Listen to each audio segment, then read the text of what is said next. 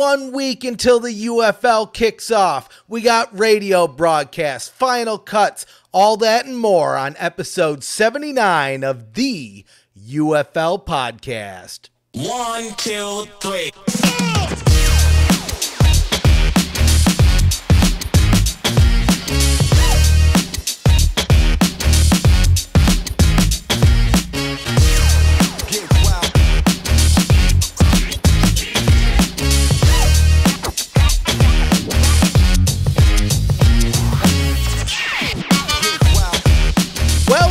Back, everybody, to another amazing edition of the UFL podcast. I'm the Ref representing Pro Football Newsroom, the leaders in spring football news. And boy, oh boy, oh boy, oh boy, oh boy, do we got a big week for you.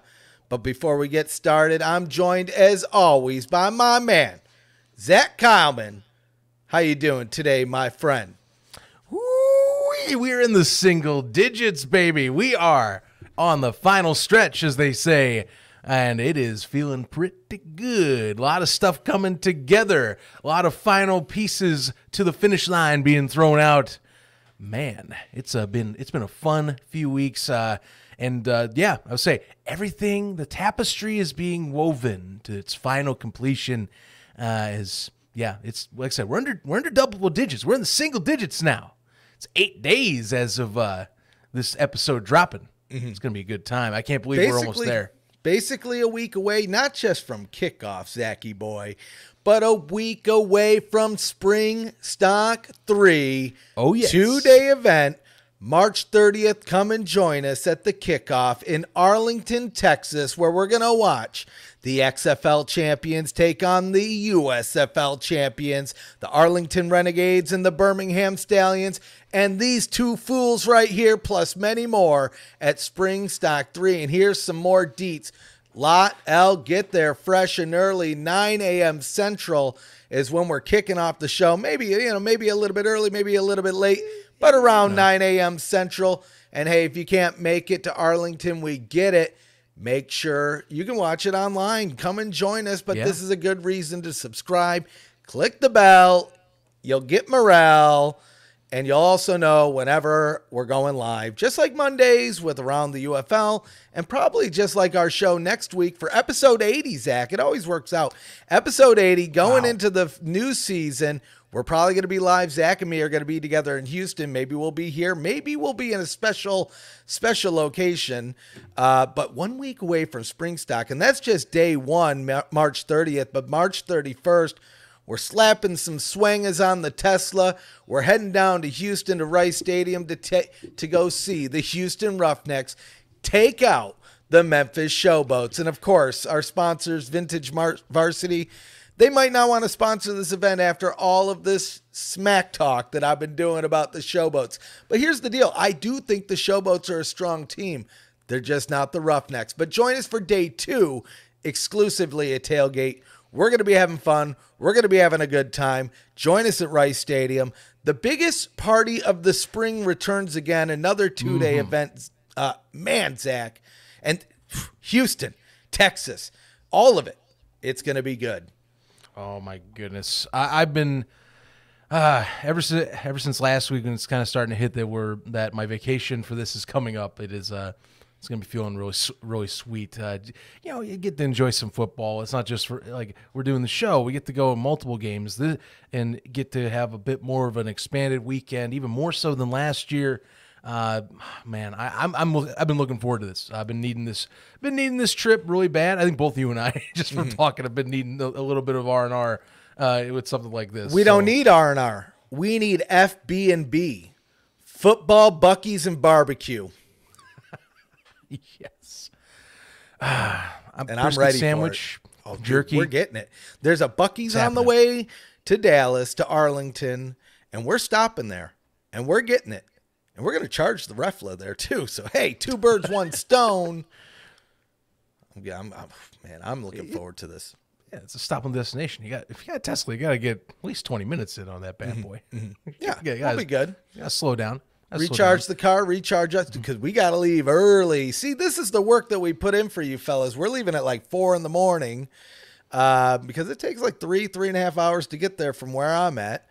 Um, but we got to get there bright and early to set up, and then we got to cover the game, and then we got to drive back and watch the other game. And man, oh man, and then the next day, it's gonna be a tough, not tough. Well, it'll be tough. It'll be a busy weekend, but it's gonna be worth it, especially for that FB&B.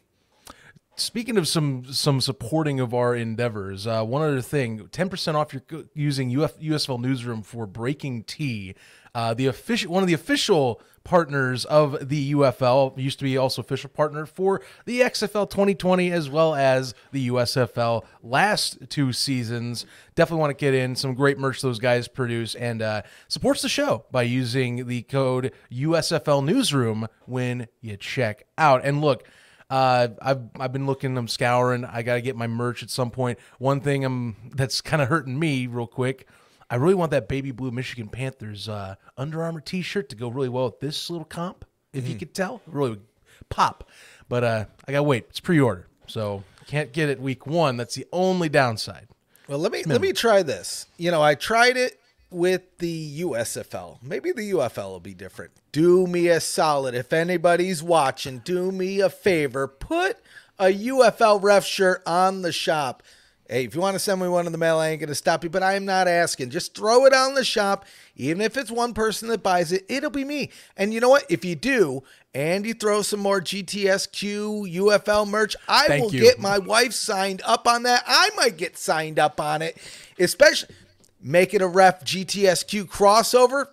Sign me up. Make it happen, UFL. Make it happen, Dwayne the flippin' Rock Johnson. All of you, get me. I just want, come on, ref shirt. Y'all know it. All right. I said my piece. I think we got a lot of news to talk And about. I'm and I'm done envisioning, and I'm done having to have people envision a, you in the ref shirt with like uh, freaking leggings. I mean, if that's what I got to do, that's what I got to do. Show off those calves. That's right.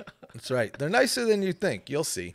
Anyway, we got a lot of news to talk about. And you know, Yes, one of do. these things that I always hear whenever we whether it was the AAF, the XFL, the USFL, and even the Spring League is hey, I get it. These things are going to be on TV, but you know what? I'm kind of a radioholic. How do I fit into the mix? And you know what? The UFL's got you covered.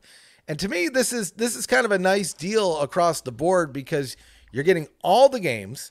You're getting them on Sirius, so you don't have to worry about interference, the the broadcast going in and out, you traveling across state lines. Again, Sirius, let's be honest, uh, it's a real big deal for truckers, right? You don't have to change the channels, you don't have to find new channels, you just have one channel straight shot the whole way through and let's be honest, I would assume, maybe I'm wrong, but I would assume that if we look at the demographics of truckers that I would I would guess that a lot of them enjoy the game of football, right? I think that's a good bet for most. Right? I, I think it's a good bet.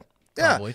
And to me, if anything, this just broadens the UFL's exposure. It's similar to what I always mentioned in the past about, you know, some of these, some of the people that you're going to get hooked are literally going to be people that are flipping through the channel and saying, hey, what the hell?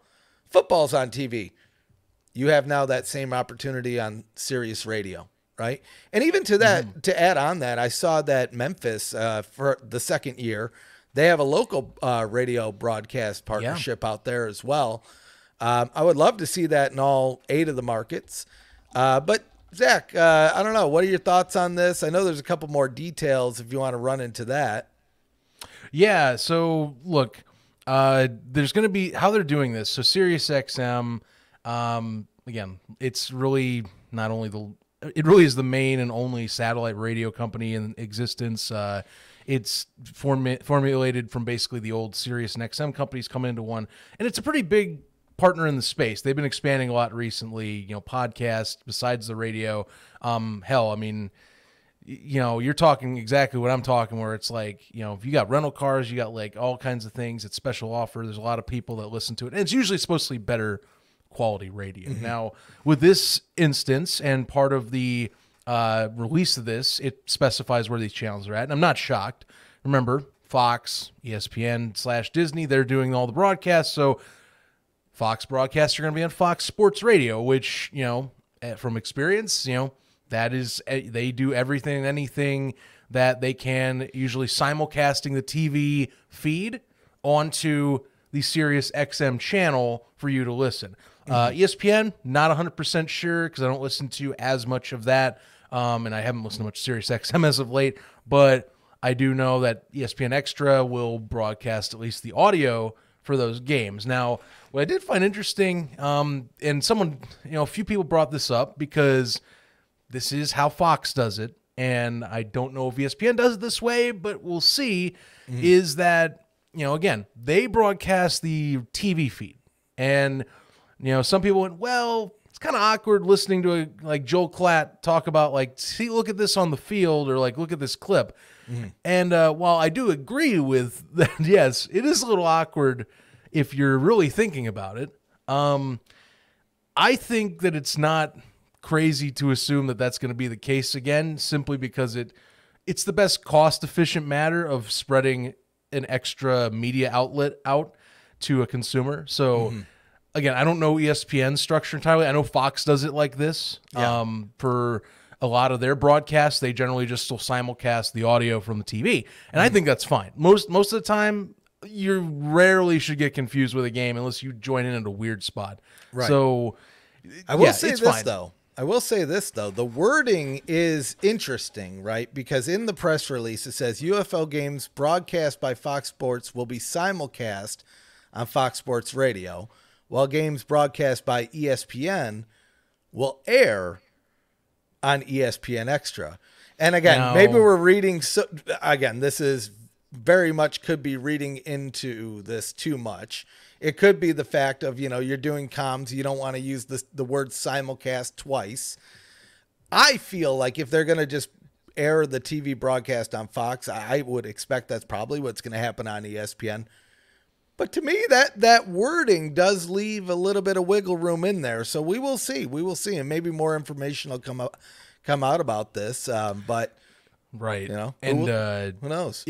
if they do do this again, if they do that, that's actually oh, that's an upgrade. Um, because a dedicated broadcast crews for radio, you know that that is an extra bit of uh, charm. It also makes it more radio centric. It's better to listen. A lot of radio broadcasters way more descriptive, so that you can follow along if you're in the car. Uh, so yeah, and not to mention that you know, I still think it's a good. It is a still an excellent art form, and there are great people in the space. Uh, it's funny because Kevin Harlan, you know, as much as he is a fantastic NFL commentator, he is the top dog in the NFL radio space, and that man's voice, the way he describes plays, the way he enunciates and does everything, that makes it a little bit special. And he's a proponent for this type of stuff. He says that that and that football radio essentially it's not going anywhere, and I don't think it will yet. Um, it's people like that that make it special. And I'll tell you one thing as well, because you know some people I think last year, and we've we've talked about this in years past with like other entities, um, you know, where there have been deals for local radio, and some years there have not been local deals. Uh, the USFL did not have any local, uh, did not have any local deals year one, to be specific, uh, and it did ruffle a few feathers in the space. And I think we're slowly seeing that change again, as long as it's stable and these companies can trust it. So, for example, you know, Memphis has kind of led the way in this in a lot of cases. So, uh, shout out to uh, News Talk 98.9 Memphis for being a uh, partner. Again, the Roar in Memphis, two years in a row, going to be broadcasting Memphis Showboats games on local radio waves. And I think that that's kind of the hope is you're going to see more local broadcasters make deals again and start expanding out because really if you can get those guys and get it trusted you know you want local pundits in your corner uh, and not only that you can also then make natural occurring events and media pieces with that too so like remember how like todd haley used to have his coaches show like mm-hmm. that now Yeah. i'm hoping you know Di Filippo might not as much this year being in texas but those possibilities open up, the more you can have that available. Arlington, I wish it's hard probably because the sports scene's crazy over in Dallas, mm-hmm. but you kind of hope somewhere, some way, maybe they can find their way to wriggle in. But for now, this is what the solution is: is it makes it easy. Say you can't listen in the car locally. Well, if you get Sirius XM and their rates are pretty reasonable a month, you know, I'm not saying you know, hey, you got a budget, you got a budget. But if you really badly want to listen, you have outlets at least. Like Yep. you're guaranteed at least you can listen to something if you can't watch. Well, and what's nice too is because you know with Sirius XM they have kind of different packages. This is included in the baseline package, so it's in the Mm-hmm. That's in card, it's in the streaming. It's so if you have Sirius XM already, you're getting this game. I know a lot of people, quite honestly, a lot of people that have Sirius XM get it for Howard Stern. So I mean, they're already in the high. Uh, I assume the highest package because uh, I, I, one of my core memories from last summer stock is driving around Canton and listening to Howard Stern reruns. I don't know how we had satellite radio in that rental car, but I don't sign them up. I'll Dude, take it. Like we listened to the entire story of Shane Gillis and his SNL journey. Yeah, and yeah, now yeah. like, and now ever since then, like I'll I'll follow Shane Gillis's career, and like whenever the first time we heard that he total side scoop, like the first time we heard he was on SNL, and it's like, oh my god, this went full circle. Right? Yeah, it's crazy. Have never would have never figured that out if I didn't have that experience in the car on that faithful July, one of those faithful July afternoons. Yep. Yep. Good old real. free satellite radio. I, I've never had that before, and I don't know if I'll ever have it again. But it was I accidentally hit the button and it started working. I was like, "Whoa, look at that! Sign me up." Yeah, good perk. Yeah, you got a place to listen though, people. It's not bad. And even like I said, I think if you get dedicated broadcasters for one of these, I think that's a cherry on top. Personally, again, and keep in mind, cost. These guys do think about cost. I know cost cutting sometimes is not ideal for certain things because I do wish there were dedicated broadcasters at times. So, like Fox in particular. Mm-hmm. But this is how this is. Media companies, you know, and again, an entity like this that they're trying to, hey, let's keep building, keep going. Some stuff you got to make, you know, concessions on until you can uh, make that at least worth your while. Yeah. So just bear in mind, you know, there's reasons why stuff like this does happen or why decisions like that are made, you know, like it or not. Yep, yep, yep. But you know, we also have some other good news before we get into the not so fun news. Uh, We have, I wouldn't say it's a new app. They updated the XFL app to the UFL. Uh, I will say there were some hiccups along the way, but the one thing that I do love about the app, and this is the one thing I loved about the XFL app, the the previous two seasons that they were around, having access to my tickets right there digitally in one stop Yeah. it- along with all the news all the scores all the everything that i need right in one place. I will say i do miss the aaf app being able to like call it you know during the game but i get it. We can't you can't always get what you want but to me this is great i'm glad it's there i assumed we would have the app this year but here we are a week away roughly and now we have an update to the app. Thoughts? I mean, nothing spectacularly different.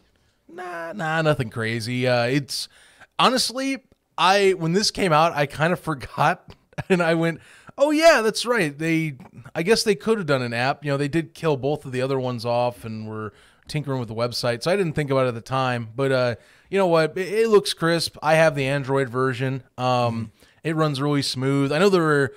I know that there were some there were some minor issues with the USFL one when it launched back at the time, and as we've seen, you know they're taking the best of each asset and they're kind of just picking and choosing. So like the XFLs has been honestly, it's been the same core build with like new features since 2019, Right, 2020. yeah. Like they pretty much adapted the 2021 and just kept building on it. So kind of mm-hmm. made sense to just take it, reskin it, put all the new teams in, and run with it because it's it's smooth. It's a good look. It's a good looking, easy to use application, and that's mm-hmm. what you need. You know, do I get my team page? You know, and again, I'm gonna model it because the NFL Network does sim or NFL.com does a similar with their NFL app. You know, mm-hmm. do I get my team page? Do I get my home news page? Do I get my merch shop page?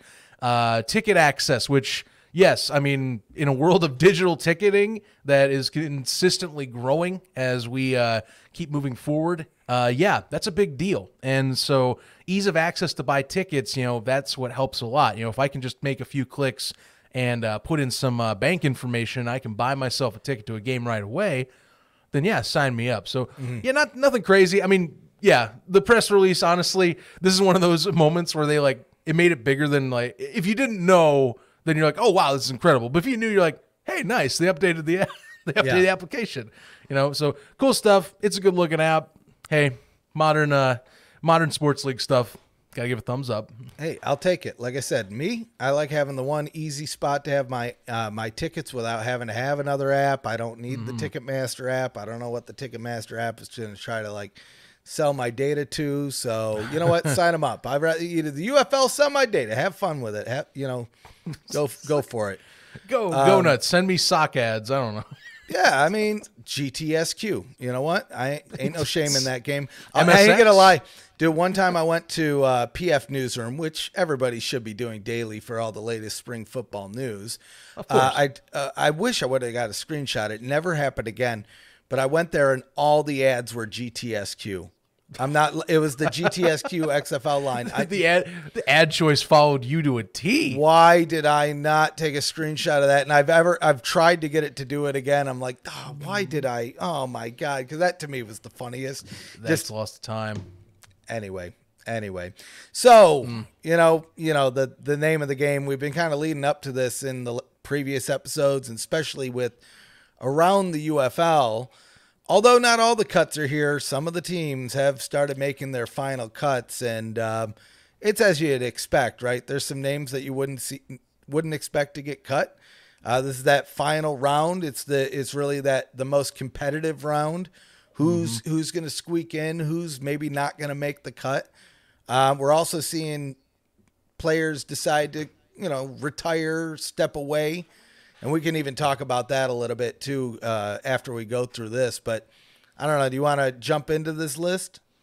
Yeah, I mean, I'm I, I have some highlighted players uh, in particular, but uh, look, it's it's a few it's a few names you will recognize so far. Three teams have done cuts so far uh, that they just turn essentially turned them in early, is what it sounds like. They were set with their rosters. So uh, those three teams include the Arlington Renegades, the DC Defenders, and the Houston Roughnecks. Um, Anthony Becht apparently has confirmed that uh, he's still planning, and it looks like other teams, unless this changes after the fact, are planning to still continue on that Saturday deadline cut uh, to be more thorough. But the these three roster, these three coaching staffs, they felt like, and well, general managers, presidents, what you name it, they felt like their rosters were basically ready to go, and so they were given the option to put it in early. Remember, 23rd is the deadline. It's not that you need to have. It's not that you can you have to put it in before that. You can put it in at that date. So this is what's happening. Uh, to go through this, a few key names uh, that caught my eye at least. And uh, hey, feel free in the comments if you want to add in pieces of. Well, I'm not saying that because I missed this name, the person is uh, not as high priority. I am just these are names that caught my eye, and I was shocked to see on the list just off my own knowledge. So, um, so first things first, Manny Bunch, all USFL right there. Uh, honestly, most, mostly remembered for uh, first year safety getting a massive hit against at the time against Yep. against against uh, the Maulers. It, that one is one of the best memories of the 2022 USFL. But he also damn good safety for the Gamblers last season, and you know, kind of was shocked to see him show up on this list because of the fact just I don't know. Like we've seen a lot of all USFL guys drop off. Uh, I mean, first round of cuts were massive, but like again, like here's another guy is on one of these all star teams and he's not going to be showing up now. Hopefully, he's going to clear get on waivers. If not, he's already cleared waivers by now. Uh, I mean, another one of the guy these guys on our list I'll talk about momentarily did hit waivers and already got claimed. So I'm going to assume that Manny Bunch is not, and several of these other guys have already cleared the waiver wire to a degree. Um, if they have not been reported by the by the same PR department at this time, so keep that in mind. Uh, but yeah, Bunch kind of shocked, and I mean for you, you know, credit. I will- I will say this is in your wheelhouse for your team. Decent. I mean, Houston's already building a defensive staff. I, I mean, it, it's It's not even it's shocking, defense, but it's Zach, so cu- it's even it's as cutthroat of a defensive battle on all those fronts in in Houston as it is for any team in the league. You know why we're all about 12 and 0? The O's also the amount of points that teams are going to put up on us this year. Sign us up, all in, rough them up. Dude, it's going to be so good. Speaking of which, Jarrett Guarantino, Guarantano, I'm sorry, QB1, let's get signed up. Everybody get excited about that. A lot of people thought it was going to be Reid Sinnett, and I said, I don't think it's going to be, and he's QB3. That well, that was also me, but yeah, Mm-hmm. I guess that. But you know what? It, it was a highly contested battle. Guarantano has a lot of hype around him, uh, being in being in the NFL very Mm-hmm. recently, and you know we know how that goes. If it's, if you're a recent NFL guy, a lot of spring guys look at you like it's a freaking uh, like you're a freaking gold gold star recruit. So This is history You know. repeating itself, my friend. May I remind everybody of a little name, P.J. Walker, who came off of a Mm. practice squad, came into the Roughnecks, unflippin' defeated, five and zero.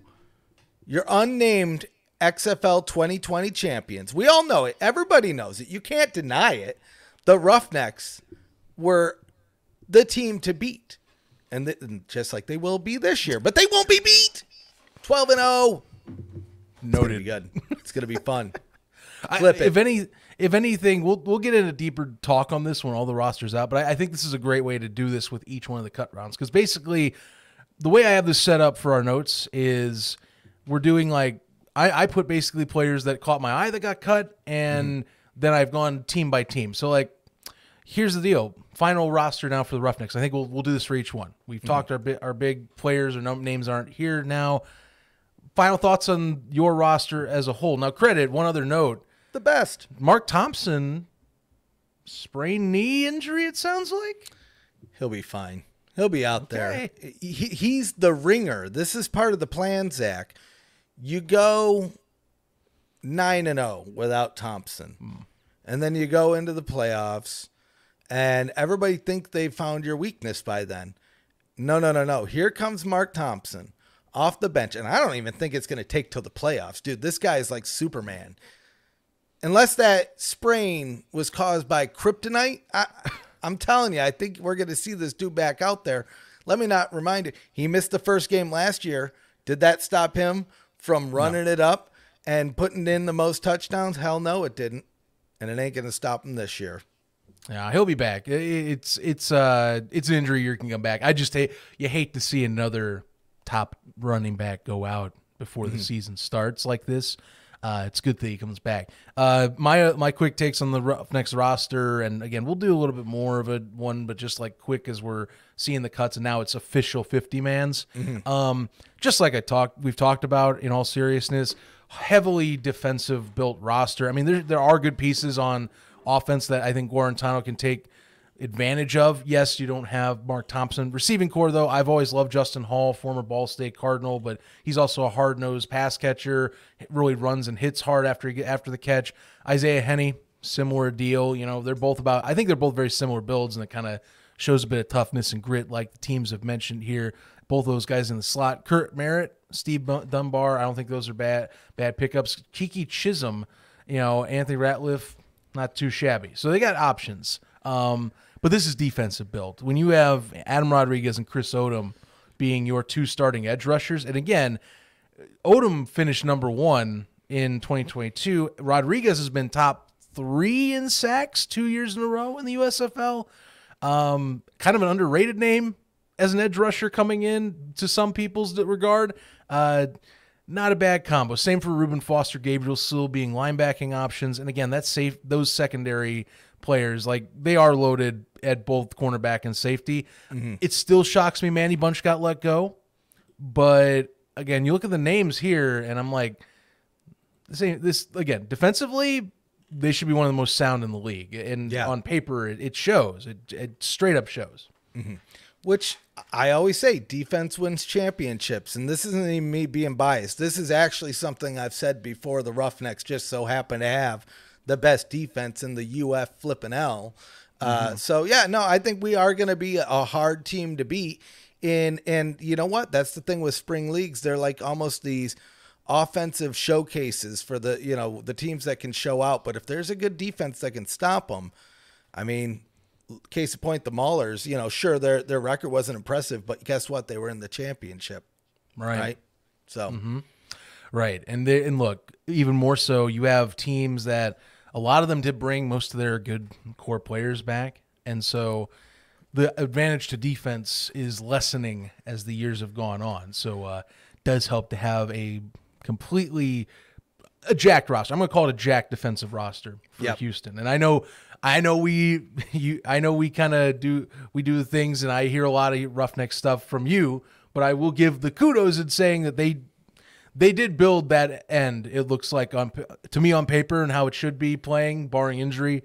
That one's going to be very formidable and scary to play every week, no matter Yep. what happens on the other side of the ball. So, yeah, fifty man. You know, we'll do a little more deeper dive. I honestly uh, probably around the UFL. Um, but we're going to do initial ones for these three while we have it because we have them. Why not? I mean, Sure. let's get that talked. Speaking of which, let's move on down the line. DC Defenders are next on the list, and uh, I had a I had three that stood out uh, to me. So first off, Zaq- Zaquandre White, and it's not because he's been on the roster too long. He was actually just picked up last last week uh, because of the fact that they are thin at that position, but.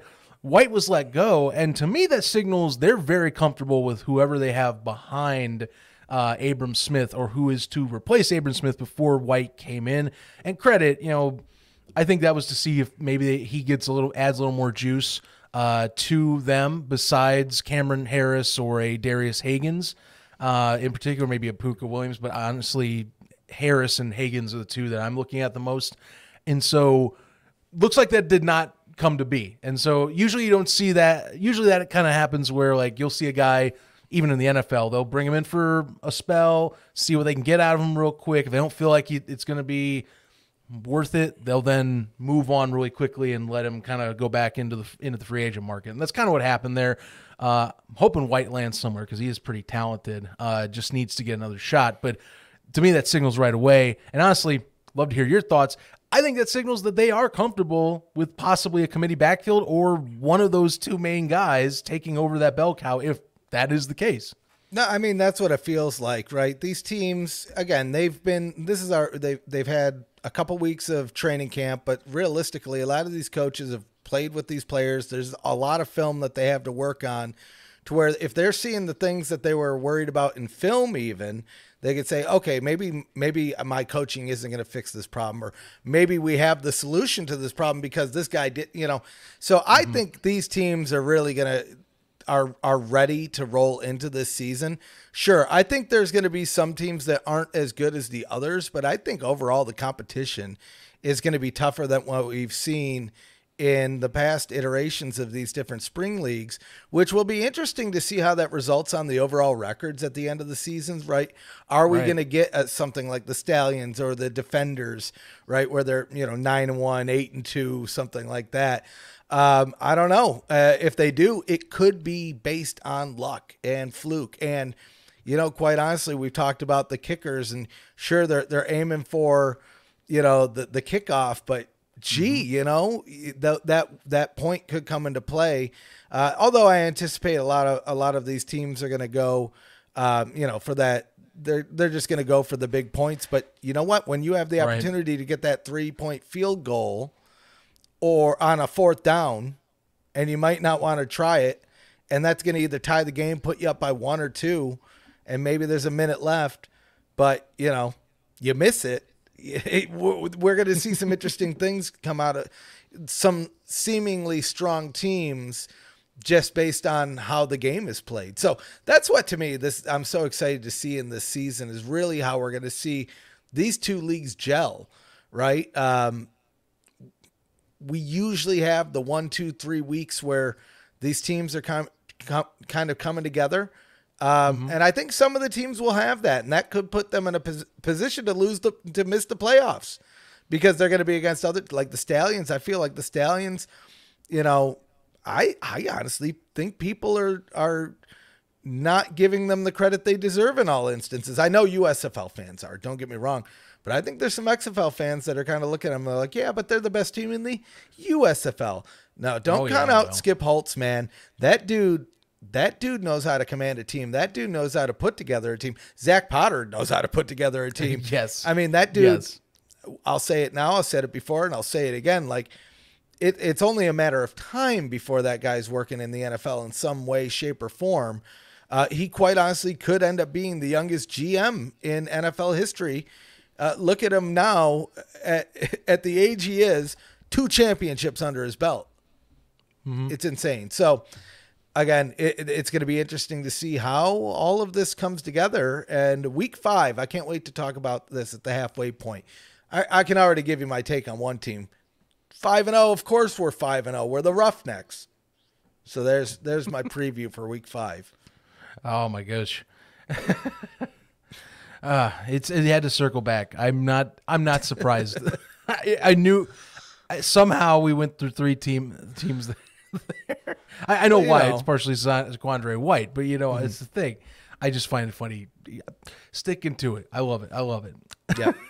Well, anyway, some other defenders, guys. Sorry, some other defenders, guys. We got to bring up that caught my eye. Jazz Ferguson. Now, credit. This is more familiar name. Uh, he's been through the ringer in the XFL and you, really the XFL and now the UFL for some time. Uh, primarily was with the Dallas Renegade or that then Dallas Renegades in 2020, uh, and then he was with the Defenders. He kind of re-upped with them in 2023 when the XFL came back. Um, you know, the, the other reason I bring it up is I think DC's questions about the depth of receiving talent on this roster because of, you know, Tom, who's not, we've talked about this in the past and on ATU on Monday. The depth and some of the chemistry will be really what is under the microscope here. Um, I'm not saying Jazz Ferguson was really a a like an A grade option between these two on how they kind of read the field because you know Ferguson only caught one catch for 27 yards in 2023. So I'm not saying it was lighting the world on fire. You know, credit Lucky Jackson, Chris Blair, they were killing it, but to have someone that was at least on the defenders roster last year be let go. Now, credit mm-hmm. that again signifies they are comfortable with who they have. You know, Keke Coutee is and Chris Keke Coutee is the big name receiver, credit slot guy, but still the main one that I think most people have gravitated towards as someone that could be Ta'amu's main target this year. But you know, gonna have guys like Brandon Smith and Vincent Smith. You know, have to prove themselves or step up. Luckily, you also get someone like a Chris Rowland, who is a small guy, who's a small receiver. Maybe you can get into like four receiver packages. It helps out too. You know, veteran guy from the Stars coming over, but uh, you know, does bring questions because, like I said, Jazz was one of the veterans from last year's roster. That's what caught my eyes. Now he's gone, so now it's uh pretty pretty uh, new, new green greenhorn in the sense uh, people here, and they're gonna roll with it. Yep. Of course. Yep.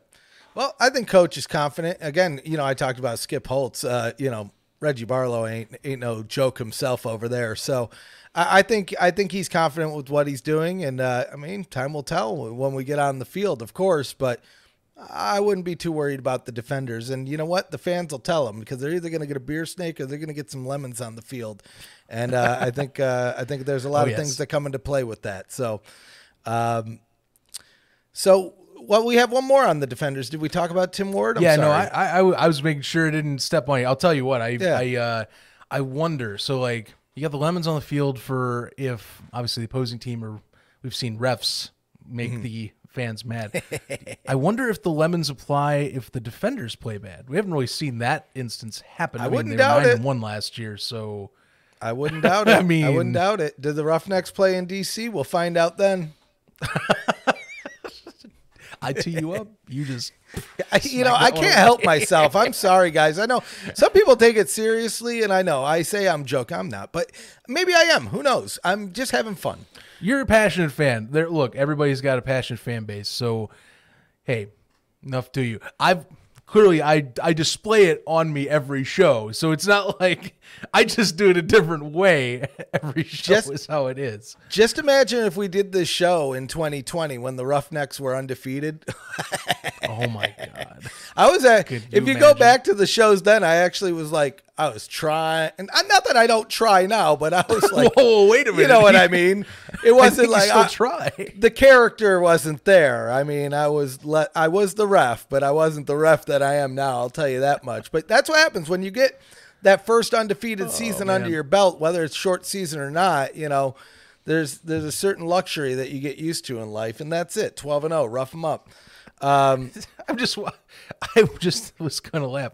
If I see someone in the comments put the ref 2024, I don't try.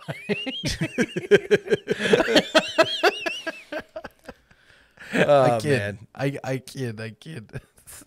anyway, we do have one more that was on the list. Um, and Tim Ward, eh, Tim Ward, linebacker for the Defenders. Now he is one of the fortunate ones. This is part of the reason why I'm listing him. Uh, he is one of the only ones from today. Actually, he's the only one from today's cuts that got claimed by a different roster. He is going to the Brahmas. Now, credit the Brahmas still have to do cut downs themselves, but uh, Yeah. I'll be frank. I mean, unless this is a cruel joke that you pick someone off off waivers to then get cut two days later, Tim's probably going to be playing there. Uh, I don't know in what capacity, but uh, you know, do this is another this is another guy that you know he came into the spring scene late last year. He actually was a roughneck last season. Uh, joined up and was put on the reserve list on the 28th of April during that last year.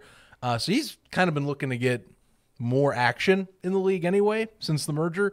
Um, but yeah, no, he's one of the he's the only one so far that has gotten claimed. And again, he just uh, do want to see, say that it'll be interesting that though you're cut, that doesn't mean the other seven teams are going to let you slide by. You know, some teams they still hope that you happen to kind of land on waiver wire, or they'll make moves to acquire said waiver wire person. Uh, Tim is definitely to me. Look, if you're picking him someone up on waiver wire this late in the game, uh, not guaranteed, but I'd say that signifies your job is safe. It would, Um, yeah. It seems. Otherwise, that's extremely cruel to pick someone up on waivers. I it doesn't happen like that usually in, the, in football, but I'm just saying, if it happened like that, I'd be like, hey, we need to talk about this because that's kind of Mm-hmm. it's kind of messed up. If it did happen like that, two days later, ah, now we're gonna cut you as well. Yeah. sorry. Yep. So yeah, you know, kind of a good story for him. Uh, so we we're ta- we just talked about the third best team in Texas. We might as well talk about the second best team in Tux- Texas, the Renegades. Ooh, hot take. And actually, But, I mean, I'm- they do have the trophy, so uh, you know. I mean, that was a fluke. I don't know what happened in that game. I don't know. The refs must have been blind. Something something was off. Something was something was off that day. Even even Stoops knew it. I don't know how the hell that was- happened. Yeah, neither do I. It was so off that the league moved the coaching staff to San Antonio to Yeah. try and spark. Something. They don't trust up. it. Something's up. Something's awry. Now, if the Renegades win on some, oh come on now. Anyway, so we, Christian Sam, though, I was kind of surprised to see that name on the list because he's another one of these guys that's been a staple when it comes to spring football over the last couple years. Uh, but again, kind of stressing on this is the type of competition uh, that we have going into this season with this league. Uh, and one thing I know I joke, I got the jokes, but I will say Arlington starting off the season this year looks much better than what they did starting out the season last year. You know, And considering they have that trophy under their belt, I mean, they do have a little bit of an advantage in that as if they were able to pull it off last year with a rocky start, with a with a much better start under their belt. And again, Luis Perez starting uh, you know, coming back from the beginning of the season this year, not coming over from, you know, the Vipers uh, halfway through or a little bit over. I mean, they, they could be they could be a team to to watch out for, and and you know to a certain extent they have a little bit of a home team advantage in the fact that training camp is there, all the teams are housed there. Uh, I mean that ton. argument was kind of dismissed last year with the Stallions when they still won the championship when you know all the games weren't at their their home stadium, but uh, you know maybe there's something to that. Uh, seemingly a little bit less travel, you would you would think, right? Um, I don't Maybe know. a little, a little, a tad bit. I mean, look, you know, I, I think so far through camp, you know, I'll be honest with you, like some people have said that us and other outlets have put the Renegades pretty low for given that they are a returning champ. We have them at six for our uh, conglomerate votes. And by the way, new new power rankings coming out this Monday uh, for ATU. So we'll be talking about those on ATU too. So don't don't you worry about that. But uh, I think overall, like for the Renegades cuts, let's go through those really quick. So yeah, you said Christian Sam, Devin Darrington, running back, and then Marquise Lucas. I bring up because he was uh, former seventh round seventh rounder pick for the USFL uh, for the Breakers, and he was brought in. And lineman, it's a very competitive space. Um, not to mention that with Garrett McGhin being knocked out, you know, you kind of have to, you know, find extra people and kind of the, I would say, uh, extra supporting staff that you can have that are flexible across the board. Uh, I mean, outside McGhin, don't get me wrong, the Renegades on paper, uh, offensive line wise, you know, we don't talk as much about that. You know, again, it's not a glorious position in terms of like what we see on tape, but like when you got guys like Cameron, when you got Jake Lucina, Cameron Hunt locking things down in the in the middle on center and guard, um, for those options, uh, like guys like Adrian Ealy, who I brought up in the past on this show, or Bobby Evans, like yeah, Garrett McGhin getting lost sucks, but those replacements are really good. And I think in particular, because Lucas is a tackle, that's another reason I wanted to bring it up is because with McGhin out, you have to find who is your best of the best at that spot. And, you know, that's kind of a cut down piece and someone that did have some good prospects coming in. Um, and again, it's a cutthroat nature of the business, and that's what you're seeing here. But uh, I do agree with you. Like Arlington, the more I've looked, I think there's promise. I just I don't know. Like maybe it's just the rest of the league makes me thrown off because I think that there are teams that do jump them mm-hmm. in terms of some of the overall talent on their rosters. Like defensively, I think it's decent enough. Like I'm not saying it's Houston level paper on names on paper, but like still you got guys like a Donald Payne over there and company or Gene Harris are going to be locking things down. But offensively, the more I've been kind of looking and reading in, I'm like, you know what? If certain things play out like last year, this ain't too bad. Again, you still got Sal Cannella, late edition coming back. You know, Luis Perez, he is starting. They've already made sure that hey, you damn well know he's going to be starting week one. Uh, and then I everyone keeps not either bringing up very limitedly or not, but Deontay Burnett is really the big centerpiece that's not talked as much because Sal Cannella exists. That's someone that I'm fascinated to see what he does with a new roster or a new place to get the ball thrown to uh, in Luis Perez. And if they can get Dave, De'Veon Smith going, he wasn't he was not the De'Veon Smith that we all remember from the Vipers days. But if they can find a way to get him going or see if either Leddie Brown or Day Day Hunter can take up that explosiveness and make that run game just a bit better, you know, it was already a championship roster, but then it makes it where I think we get past some of the uh, training camp feels about this team and how we feel they're down lower in the rungs. If that makes any sense, your thoughts. I really want to hear all, what you think. You know, being the second best team in Texas uh, for the- yourself. I mean, the only thing they got going for them really is that they don't have to play the Roughnecks twice this season. So at minimum, they only have one loss under their belt from us, right? And so then you really only have to look at the other nine games and kind of match up where you work best. And I'll, I'll be honest, like I said, it kind of goes back to what I was saying before. They at minimum they have a a more well-rounded team at the beginning of the season. Now, on the opposite side of the same coin, I feel like all of the other teams probably have a solid, well-rounded team going into this as well. Um, I, I think some are better than others.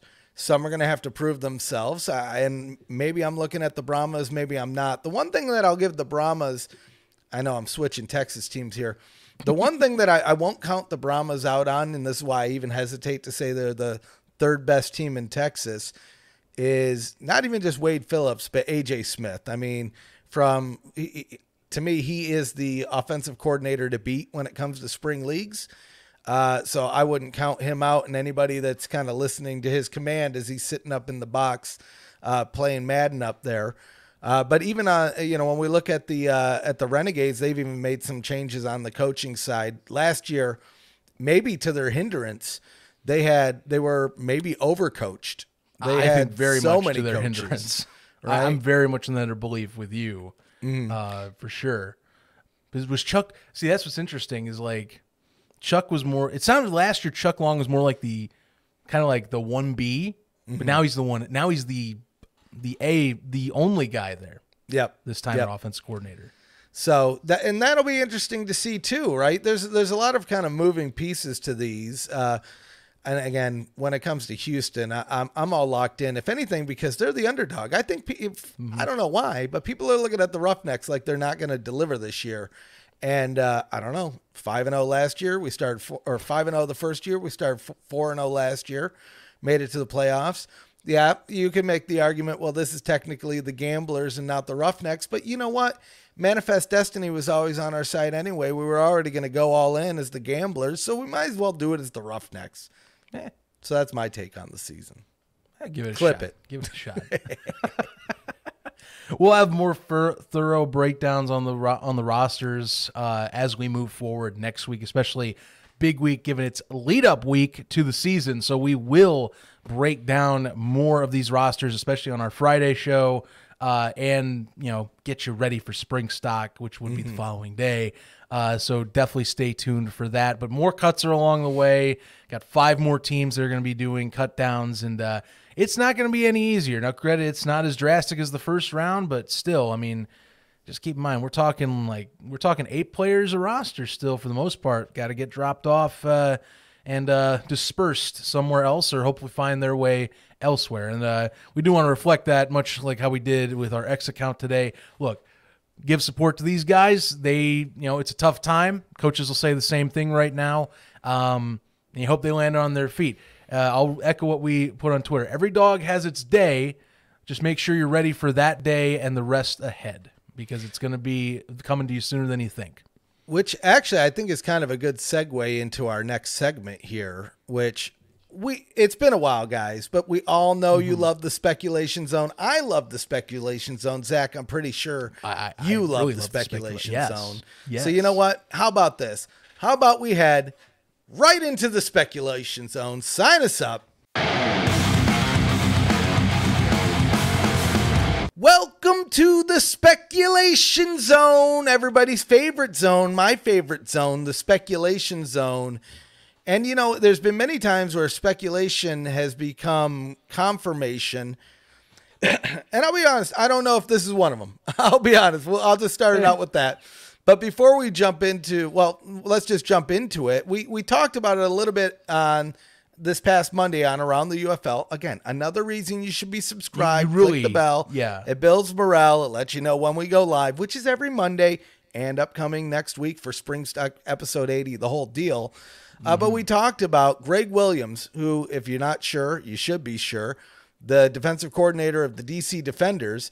Well, he's got a radio show with his son, right? And I'll be honest, Zach, radio, funny enough, in these interviews, and this is a little bit different because it's not an interview, it's his own radio show, but these have always seemed to give us like little glimpses into things that could be coming. I, I I'm looking at you, Coach Flip. I'm It's looking at you. overlooked. That's the thing. These pla- that platform's always overlooked. People don't look for it as much. And so you get stuff like this later on when like there's a video portion, which a lot of these stations or teams do, and I think this is more. It- It's more like a show, radio show slash podcast, but you get the point. Like stuff like this gets looked over until it's like someone finally digs it, or is like again the crazies out there. Yep. We we look for keywords. We look for things that kind of pop up in the search engines, and someone happens to grab pull and slap it onto uh onto the socials. This time though, it actually was the official account, so a little different. But uh, I digress. You know, radio, as you said, can go on. Does keep bringing things that we get to uh, discuss, not that we don't always see on the video angles. Doesn't Yeah. always come up that way. A hundred percent, right? And this is one that you know people have already been speculating on. People have been pondering, going to the rumor mill. But according to Greg Williams, he's he's talking about the USF, uh, the UFL. I apologize. There's a good likelihood that they could expand going into as early as next year. That's where I mean we'll get in. We'll talk about the details and then we'll get into our thoughts on this. But mm-hmm. you know, according to him, we could be looking at 12 teams in 2025. And what's even crazier to me is 16 teams shortly after. Now, I know there's a lot of, yeah, That that's where I hit pause. Is wait a minute. you know. yeah. I mean, there was a lot of fans that were really hoping with this merger that we would keep all 16 teams. And quite honestly, if there was ever a time that we were going to see a 16 team league, I think that would have been it. You had all the rosters, you had all the coaches. I mean, quite you had three television networks. If you if depending on if you moved the season, NBC still could have been in. So to me, I'm with you, Zach. Whoa, whoa, whoa, whoa, and even 12 as early as next year seems crazy to me. Do I want to see it? Hell yeah. Oh hell yeah, I want to see it. Uh, but I think I said this on Monday. I think if, and this is a big if, we do see expansion next year, the year after, even season three of the UFL, I feel like 10 is the more attainable number to aim for. nine gets difficult, but I mean Canada has a odd number of teams, so the, it, it does work out. Um, the other piece of this that we haven't talked about that uh, I don't know if we talked about this on Monday is expanded teams. Seems like you almost have a, ha- need to have an expanded schedule, unless you don't play every. You know what I mean? Then it, then it gets goofy where some teams aren't even playing another team in that season, which isn't unheard of with the NFL. But Yeah, it's not do you do that with something this small? I don't know. Uh, but I don't know. I mean, Zach, season two, do you think we get expansion? We'll start there. I want to believe we do. Um, Mm-hmm. given that, I look, a lot of it was on the rumor mill here, but there was a lot of this like small scale rumor talk about how when they were negotiating and talking with the federal government, and the trade commission, that you know the trade commission wanted more teams, the league wanted to save costs, and that there's supposedly this contingency plan where maybe they upscale next year, but they had to downscale for year one, but they have to promise that they're going to upscale. If that's the case, then I mean it's a foregone conclusion. But I think you'd only do ten eh, just to mitigate costs. Because twelve to me, look, twelve. I mean, you're adding fifty percent more to your entire portfolio. And I'm not saying that you can't find you can find players first off. So players aren't the problem. Like eh, I, no one's saying this, but just just Yeah. to reiterate in case someone thinks that players are never the problem. You are going to find good quality talent that will play. Hell, you'll probably find talent that's in lower levels that are playing right now, specifically arena and indoor, that are going to get those opportunities and jump up or the latest college classes that are guys that they just want in because they know it's there. My concern, and you and I have echoed this on this show multiple times because it, it gets talked about, it- it's the business. We talk about the business a lot on here because spring football and sports versus business, but spring football, business sense wise, that's the part that is the biggest challenge and has not always been where it needs to be. And to get to expansion next year, unless it's mandatory, which again, if it's mandatory, well, if they have a season two, they're kind of going to get locked in if they made that, or they're going to have to uh, reconvene with the certain F with the with the FTC about that at some point. But if they're going to ten, my question then goes, great. Um, are we selling any of these? Right. That's the next step. You you want me to bel you want me to be thinking that this is real that they're going to do this? They have to take costs off the plate from the league office. That's the main hurdle to doing expansion to me. You can add more teams and keep doing the hub, but remember, your costs go up. You know, that's that's the thing. And I'm not saying that businesses can't do that. You know, mm-hmm. yes, there there are businesses in Silicon Valley that take losses every year in hopes of profitability, but football you don't have that runway. You know, football is a is arguably the most expensive sport in the world. Uh, it's one of the top ones to run. I mean, some will say NASCAR because it's, you, but no, like talking manpower wise, se- you know, health and safety, and you know the equipment, you name it, travel. It's one of the most expensive sports to run in the world. You have to have someone buy some teams to then recoup and redirect costs to allow you to be flexible. That's what's my hurdle. Now, Greg's pretty confident and credit, you know, most of the times in years past, if we hear from a coach, you know, we go, oh, well, you know, they're, they're, they're connected with the league. You know, it's, it mm-hmm. makes sense. But keep in mind, we also went through last year, like lead up to this. Mm-hmm. Oh, yeah. And I mean, I don't know, man. Like it's kind of the league office and who knows what. I don't know if I can fully buy into the the team number thing because I think you only get so much leaked down, and I feel like it's a lot of hypotheticals at times. Right. So I'm very like standoffish on this because I I really need to see some news come out that you're seeing like interested buyers or something um, that will come out to to the woodwork. I know we kind of like joked about Fred Smith last year a little bit, but like that's the kind of guy like, hey, you, you have someone like a Freddie come out here and buy Memphis up. Then okay, cool. Well, you took off an entire roster's co- costs unless there was a dumb, a pseudo dumb. Uh, I would say provision made about the cost structure. You know, you take that off your plate. That's my hurdle. I bet you have a similar take knowing your business acronym or business uh, you know, background in ways, but that's what I'm looking at. Like show me where you're taking the costs away and then I'm like, cool, we got more teams. Because if you don't do that, I'm gonna be sitting here really doing my uh, collar pull because that's that will make me nervous. You're adding Yeah. extra, and then you have to hope to add extra revenue coming in. The cash Right. flow's got to make sense at that point. For sure. Yeah, you got either got to hope for some money on the TV side, but again, if Fox is half of your broadcast, they own the league, so there's really no money moving either direction other than the advertisements. Uh, the ESPN side, they're already locked into the deal, so I don't know how that works if you have to extend your schedule. Does that do those games just end up on Fox to where it becomes a non-negotiable? Uh, but like you said, it's not even just the rosters, the stadiums, right? Those are that's the thing that's going to get you, Yeah, man. you got to pay. You got to release those too. You know, stadiums, the thing. insurance, uh, even the travel. Even if you do the the hub where they're all in Arlington, you still got to get them and the other team to these games, right? So there's planes and maybe buses, and I don't know what we'll see.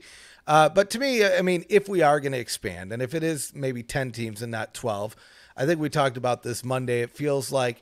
New Orleans is uh, probably a good option. They were already talking to Yulman and some other uh, uh, stadiums. Very They're much.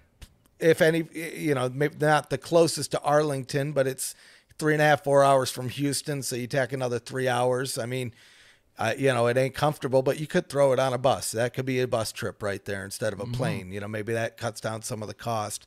Um, who's the other team? Only time will, will tell. I would love it to be Canton. Just rebrand the Maulers. Just put them in Canton. I think people would show up. But you know what? I'm not the guy behind the money here. Uh, You're, you're revisiting the, even with Greg's with the clip from Greg Williams and and Mm-hmm. his good show in a show about this where it's uh you know they the, the whole thing starts off asking about Cleveland you know that in the metro there. You know I think if you're talking teams to come back like I know there's going to be that contingent of fans that say well, well Seattle and it's like this is where we stop and pause. It, there, mm-hmm. The reason Seattle's not even in this because the brand obviously has fans, mm-hmm. but again, think about the business. You have to get some people out west to make that make sense, Mm-hmm. and you know that's what's the holdup. I I agree that I think Seattle should still be looked at, but with that, some people because it is there are adamant diehards that wish that never went away.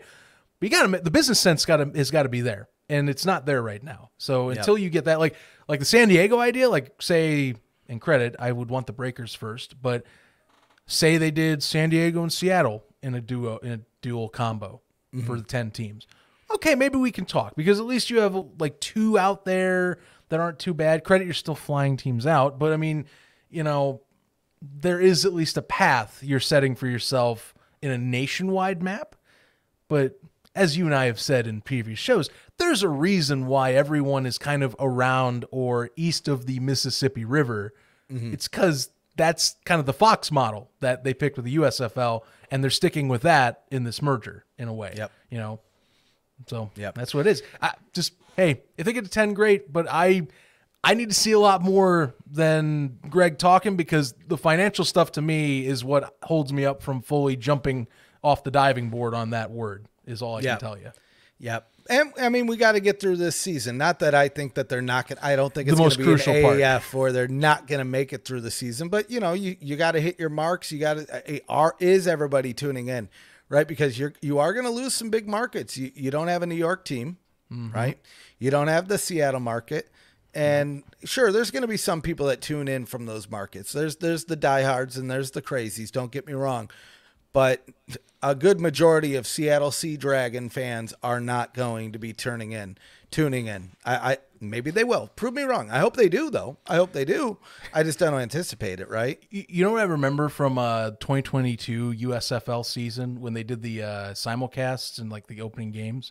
Mm-hmm. Uh, Tulsa, Oklahoma, Dayton, Ohio were Yeah. like the two big one, two of the biggest markets that watched that opening week, and it's kind of crazy because like Tulsa, it's funny. They're like the IFL's there.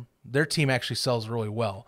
It's just not, you know, I'm not saying these are markets. I just find it fascinating how demographics seem to work where it's like, look at these cities. You don't Yep. understand why they're tuning in, but somehow they hit and ba- and were bangers. And like Ohio, it just shows they consistently every iteration. It seems like an Ohio city has come up and been a hit. Like uh, I think 2020 week one, Columbus, Ohio was like one of them was one of the markets that watched that opening DC Seattle game the most. They're like top five, and people were like, "What the heck?" And it's like it's just it's Ohio. There, it's a football state. You know, It's like Texas in that fact. Exactly. Well, it's the we talk about the- of football. We They talk about two of the meccas of football in the, in the U.S. Texas, and well, where it began in Ohio. You know, and Ohio State's out there, Canton, Mm-hmm. Ugh, Cleveland. God, I mean, it just makes me. sense.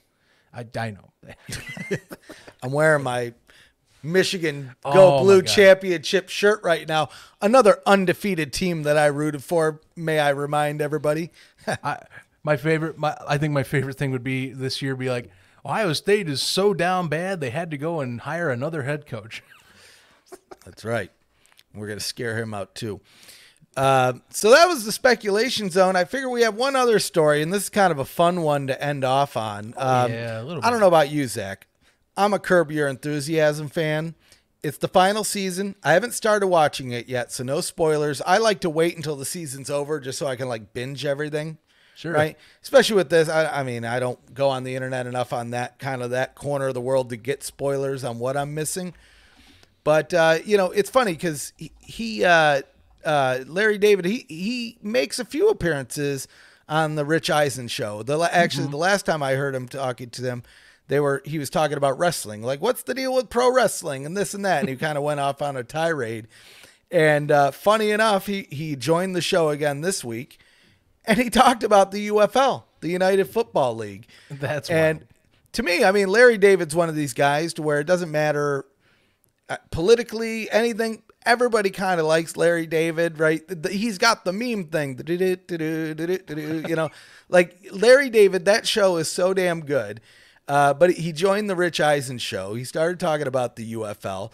And honestly, I didn't know this about them, but apparently he's got this thing where he wants to get rid of field, uh, field goal posts, goal posts in football. And I don't know, Zach. Who knows if this is bit or truth? But apparently, according to Larry David, he even had a phone call with the one of the owners of the UFL, Dwayne, a little guy, the Dwayne the Rock Johnson. You might have heard Okay. of him uh, about this thing. And uh, you know, it's funny in the interview he said, "You know, I thought he might actually do it.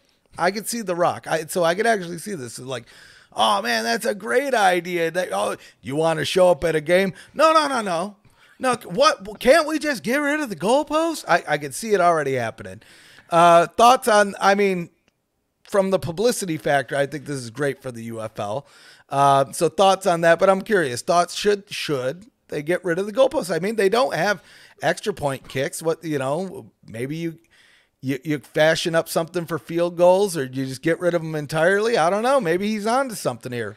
Well, clearly he is uh, picking the right league, given the fact Yeah. that he, you know, in the same interview, by the way, he and again part of the conversation we're saying, you know, I, I called uh I called Dwayne up, and so he's doing that, and he apparently brought up like we should get rid of extra points, and he's like, I was surprised to see that they had already done that anyway. Like he's like, I brought this idea up. It's like, oh, and and Dwayne goes, oh, we already are doing that. And he, I was like, oh, so he was very pleasantly happy about about this. And you know, I had to revisit the context because this isn't the first time he's brought this up. Clearly, Rich implies this mm-hmm. in his clip, and it's because he brought this up two years ago on Rich's show. Um, and they've done this where he's he's been on the show multiple times uh, in the past, and they've done this like commissioner for a day bit with him, and he said the same thing. He would he would ban the field goal posts and just make it just only plays to score from from offensive possession or defensive possession. Um, it's fascinating, and I think. Uh, I think it's what's funny is is that it's the most random natural exposure to the UFL. You know, mm-hmm. yes, it's Rich Eisen. He is a football centric commentator, but Eisen has been a sports commentator in general outside of football for years. Remember, he, he was with he was with Sports Center for in the golden years in the mm-hmm. 90s with E ESPN, and it's just a fit. Like it's perfect. It's perfect random branding that is open exposure, and you know, and I think for those like like myself, where I'm like, look, I'm not a rock fan or anything, or I'm not mm-hmm. like the celebrity owner fan guy. I just want to watch sports. This helps with me continuing to do that because, like, name dropping the rock, remember, like, you, you drop the rock's name in a conversation, someone's going to post it on the internet. And if it's tied with the UFL, they talk about the UFL because of the rock now. And it's Larry David, who is one of anytime he gets a soundbite on a show, he's one of the most talked about comedians on our planet and one of the most famous comedians and comic creators on this planet. Uh, it's just it's good it's good exposure for the league, natural exposure as it was put uh, by one of the quote tweets I was reading about this. Um, it, it helps. You know, I, I think it's a funny clip. I, I find it hilarious. David Larry David just I'm with you.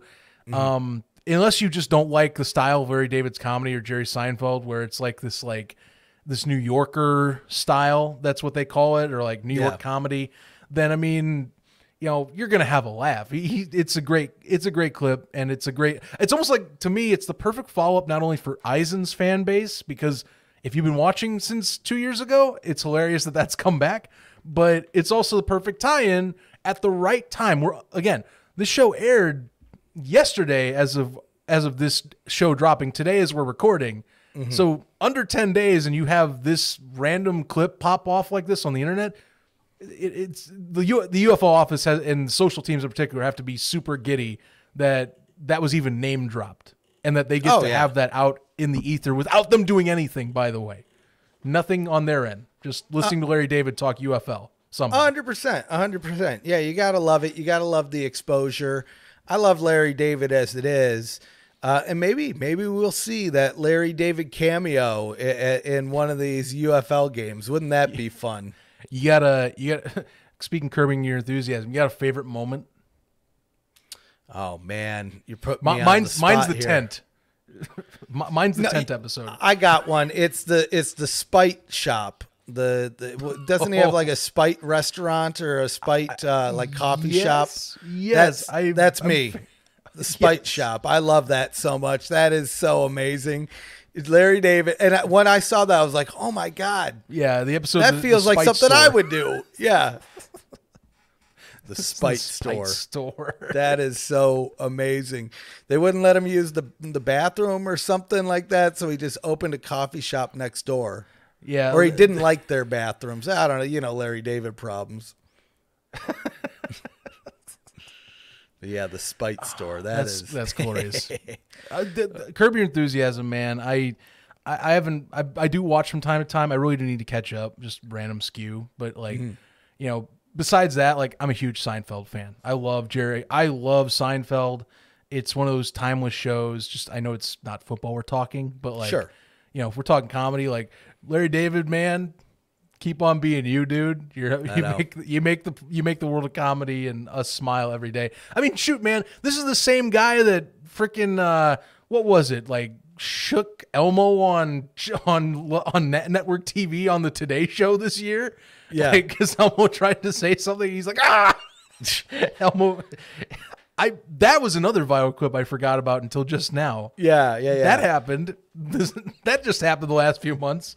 Man, I'm gonna miss Curb Your Enthusiasm. I like I said, I haven't watched this season at all. I'm sure it's probably not gonna be the best season, but it's still gonna be a season of Curb Your Enthusiasm. So I, I once it's over, I'll watch it. We'll give an update maybe on this show at, at uh, next off season off topic. This is one of our last off season off topics before we get into the season where we're in season in topic.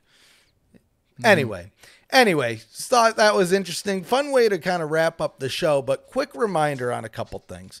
We're one week away, almost, but basically one week away from the UFL kickoff. We're one week away from Spring Stock 3.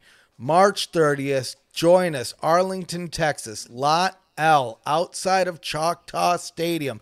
9 a.m. Central. We're going live with the Spring Stock 3 with the biggest tailgate of the spring. And like I said, if you can't make it, join us live on YouTube. We'll have the link to Spring Stock 3 here soon. So make sure you go and set the reminder because if you're not going to be there in person, you might as well check it out online. Uh, but for the folks in person, we have our sponsors, Vintage Varsity, there, which is also the yacht club. So we're going to have shirts day one and two, different ones. So if you're going to be at both events, come and get them. Special collectors, there's not a lot, but they're going to be there. Good times, good guests, and good giveaways. And like I said, day two, we're throwing the swangers on the Tesla and heading to Houston, specifically Rice Stadium, to go see the Roughnecks. Put that one in the one, two, and oh Oh yeah. in our 12 and 0 season against those showboats. And I'm sorry, vintage varsity, but you know I had to say it. But you, here's the thing: if we lose, you're going to be there seeing me cry in person. I'm almost done, puppy dog. Aw. We almost it's it's about time to cut it off. Any last thoughts, Zach, before we head into the sunset here? No, I think we're I think we're good. My own my only question is does uh does the does the dog rival the cat appearances we've had on ATU? Uh, yeah, of course, because my dog's the best. See, the cat, my cat won't come on the podcast. My dog, most of the time, my dog's taking up all my foot space. But she got tired of taking up my foot space, and she, she heard the outro to the podcast, so she was like, "Okay, good, I you get to get up right now." I, I don't She even care how bad of a joke this is. Tiny Panthers on ATU and rough 'em up the dog, rough dog. I like it. I like it. on for us on the Yes. UFL podcast. I will end the show show just like that. My piece. I leave it at the puns. I'll take it. Hey guys, one week, one week away, episode 80, one week away from kickoff, and one week away from Spring Stock 3. Until then, sign you up.